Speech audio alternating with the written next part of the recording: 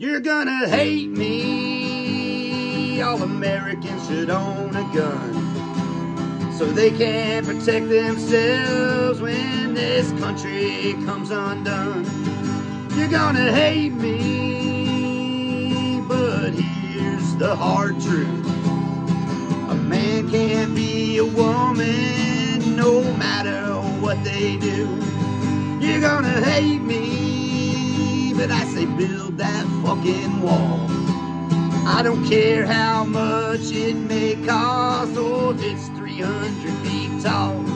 You're gonna hate me, but I think our government's full of shit. They just keep on lying to us and they ain't about to quit. You're gonna hate me, cause you know this song is true. But that's okay if you hate me, cause I probably hate you too. Huh! So I have to say, I'm a really nice guy, and I know that's all about hate or whatever.